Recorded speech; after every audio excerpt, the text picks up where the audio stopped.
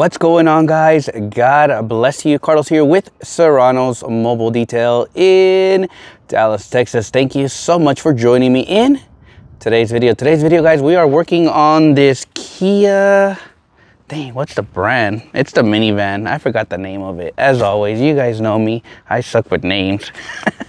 uh, but today we are working on this minivan. I recently got an email asking me, hey Carlos, how do you do minivans? How do you price minivans? Um, and why do customers get mad when you charge them more? so that's kind of what this video is going to be about. Um, so let me get all set up and we'll get started on this project. This is going to be more on a kind of educational video um, on how I would do things. Again, you don't have to do it this route. Everybody's going to find different ways to do things, right? Um, but one of the reasons um, the cost is so high on minivans. On average, majority of the time, these vehicles are not gonna be in good shape because a lot of these vans are tore up. They have, usually it's made for kids. Um, some people call them soccer mom vans and you know, there's all sorts of goodness in vehicles usually. Um, so when it comes to minivans, just know that you have to charge accordingly. When it comes to my business, um, all my interior details start at 300. Uh, based off condition, the price subject to change. Now, minivans is one that I think it's one of the most um, Usually when a customer's like, oh, I have a minivan, a lot of detailers don't want to do it because it is a lot of work. It has a lot of mats majority of the time. so a lot of detailers just don't want to mess with it, right? And I'm gonna show you kind of how this vehicle looks and you're gonna see how it looks.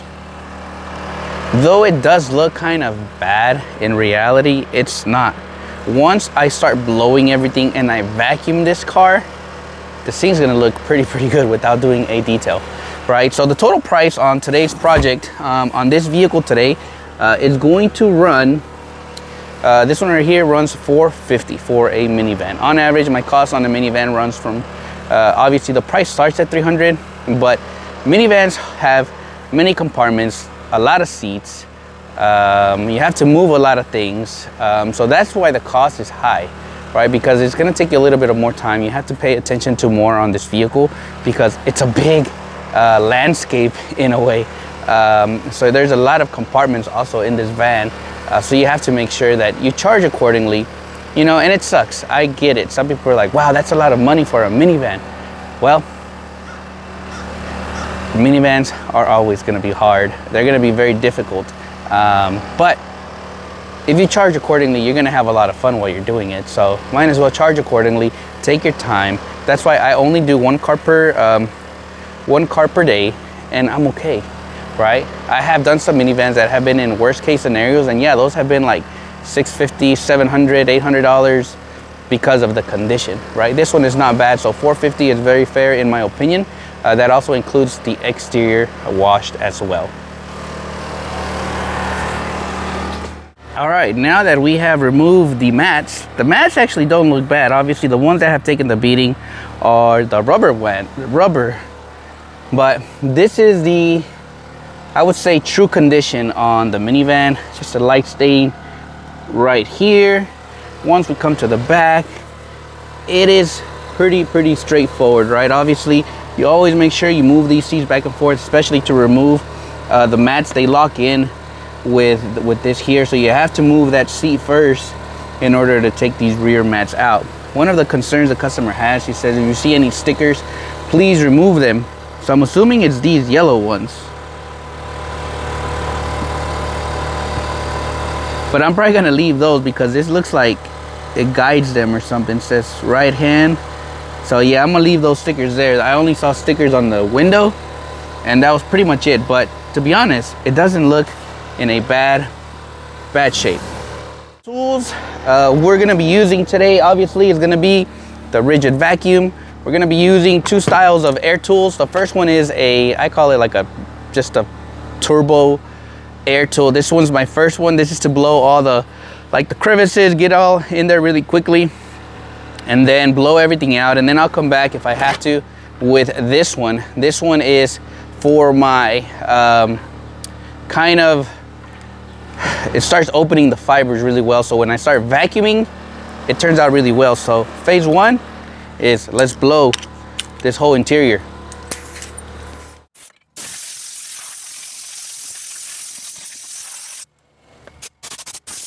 Always remember, start from the front, work your way to the back. If you can, raise the seat up a little bit so you're able to get all under the seat really well. You always find goodies out here, so find a little bit of everything. And as you are vacuuming, uh, make sure that you start turning all your equipment like your steamer. Make sure you have everything ready to go so that as soon as you finish the pre-vacuum stage, right, you can get right to it, right? Try, try to be one step ahead of your job, right? So I already have the steamer going. Right now I'm vacuuming everything really quick, which is gonna look really, really good after I vacuum it. And then we're gonna start with obviously the dashboard and everything like that. Uh, but really quick, we're gonna go ahead and just vacuum everything, everything up.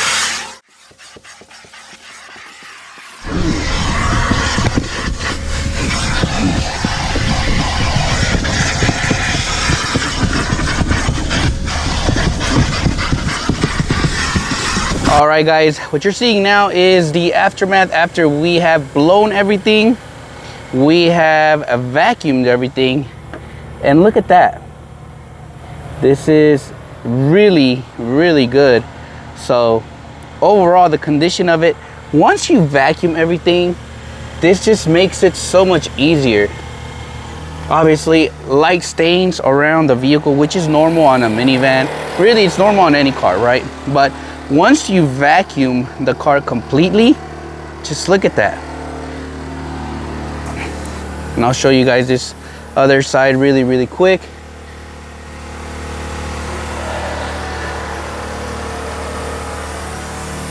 And this is one of the reasons why I love to blow everything because you don't have to put the work in at the very end. Do it all at the beginning right? Even though some say, man, that takes too long, do it in the beginning so that when it comes time for your extraction or your dry upholstery method, trust me, it's gonna be a lifesaver. It's gonna speed up your process. So next thing we wanna do, obviously now we're gonna start on the driver's side and just work away all the way around the vehicle. Strictly um, rinseless. We're gonna go rinseless on this project um, and steam all the way through from from the plastics to everything in this vehicle we're gonna go rinseless because this car is not in bad condition and she and she is also a previous customer and if I remember correctly steam cleaning was a, um, a preferred choice so that's exactly what we're doing um, today so I actually have the PSI somebody gave me a tip that uh, to make sure that I uh, bring down the PSI a little bit. Uh, that way the PSI stays more consistent, if that makes sense. It's a little bit of more drier steam.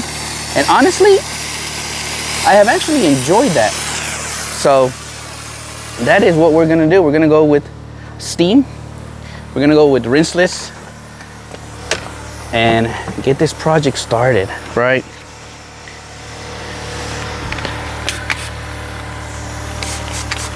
Now, if there are some areas that are pretty bad, then and that is where, you know, we, we may put some, uh, a little bit of more product in there.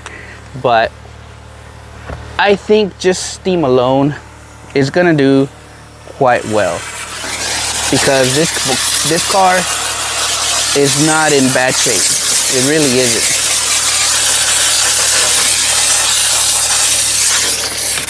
And then we come with our Rag Company Air Blaster Plus with the rinseless in here and just blast everything off.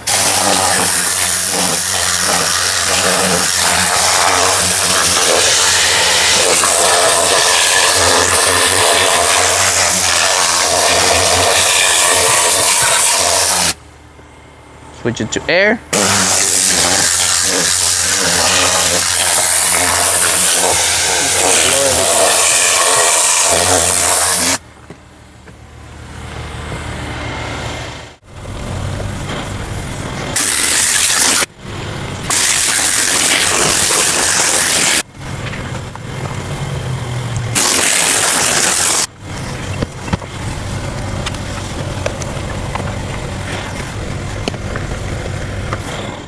So if there's any advice I can give a lot of you guys is use all your tools to your advantage.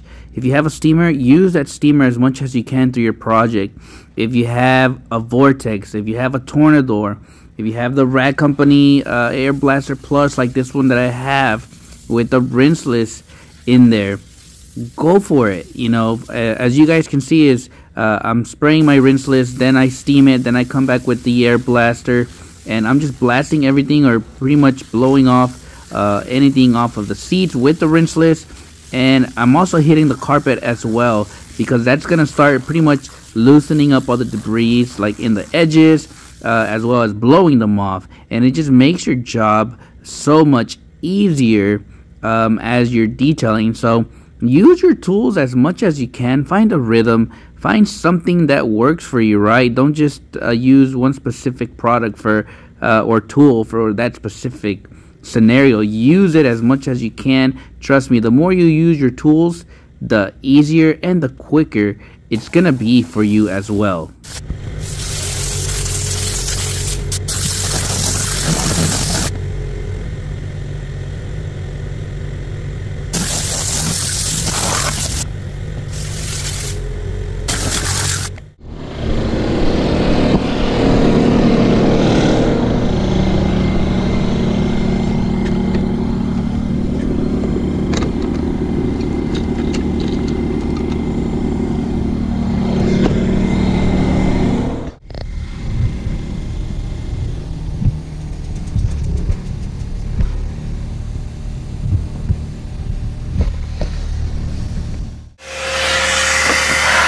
right, you guys, we are to the um, extraction phase, right? This method here is very simple, um, and I hope you guys can hear me.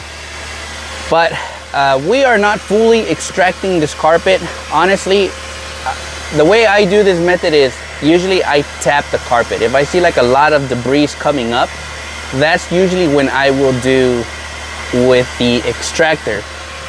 One of the reasons I'm also going this route is because the customer is also pregnant. Um, so I would rather go the safest method, which is steam cleaning um, and just steam clean all the interior. I've gone ahead and done a pre-spray obviously on this whole vehicle with Flex Bio Brake, right? And it was just a light mist, just to at least help remove uh, minor stains that this carpet could have. Honestly, it's in really good shape. But the first thing you wanna do is we are going to vacuum everything really, really well. Uh, and then we are going to, uh, we're gonna steam the carpet really, really well. And then next we are going to grab our air blaster tool, right? We're gonna grab this tool right here. And then with the, what I have on here is rinseless product. So with the product on, we are going to pretty much agitate, if that makes sense. We are agitating the carpet as well as blending all the fibers in really well. After I do that, I will grab a towel to pretty much mop it up or dry the carpet and then I'll come back with my vacuum and vacuum everything really well. And that is the way I do a dry upholstery method. I know it's a lot of steps. I know some people literally just steam, wipe off, and that's it. I like to do more than once just because I want to make sure that this turns out really, really well.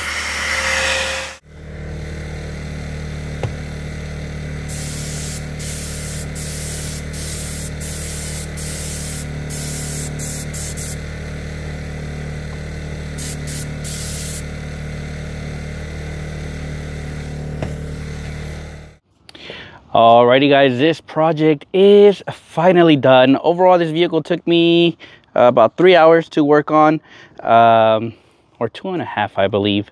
Um, but really, the overall outcome of this vehicle was really, really well. Uh, today's video was really more kind of showcase a little bit on maybe the process, the pricing, Um, and don't be scared when you see or hear a minivan. Take them. Just charge accordingly, right? Majority of the time, these vehicles are in, I would say, not a good shape, right? And a lot of times your customers are going to say, oh, it's not that bad. But unfortunately, they are. I think minivans, I call them also sticker cities because on average, those windows are all, they have stickers everywhere. But in all honesty, um, this, this project was definitely um, a, a good project to tackle today, right? The overall price on this vehicle today was $450 uh, from beginning to end. Um, the interior detailed, uh, plus the exterior done as well. On the exterior was just a very, very basic uh, wash. Um, but before I end this video, if you saw yesterday's video or my most recent video, it sounded horrible. It really did. I wasn't happy with the outcome of that video, to be honest. Um, I had one minor issue. Uh, for those who have inverters, generators, I highly encourage you to open up your, where the exhaust is, there's usually a little cover.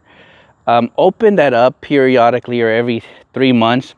And there's some bolts at the bottom. Make sure you tighten those bolts. Unfortunately, yesterday when I turned on my generator, this thing sounded bad. It's that like rattling. Um, obviously, I worked through it like that. Very dangerous. Um, I ended up burning, burning a little bit of this plastic and a little bit on the that inner casing. Uh, long story short, I got home and I was like, let me see what the issue is. The exhaust broke off, I guess, from those two bolts at the bottom that obviously keep the exhaust in place i guess fell off a long time ago and i just never paid attention. Um, and i guess because of the shaking and the vibration it caused it to crack and break off. Um, thankfully i found a gentleman um, that took care of it and we were back in action. I literally was thinking like i have to buy a new generator. Uh, but thankfully shout out to pete out in denton. Um, he took care of it. Um, and I am so grateful.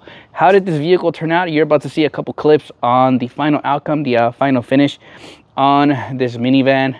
Um, it turned out really, really well. So as always, guys, thank you so much uh, for watching today's video. I hope it kind of uh, guided you a little bit on this method. Uh, one quick tip before I end this video as well is one benefit of having a chief steamer is you're able to dial in the steam.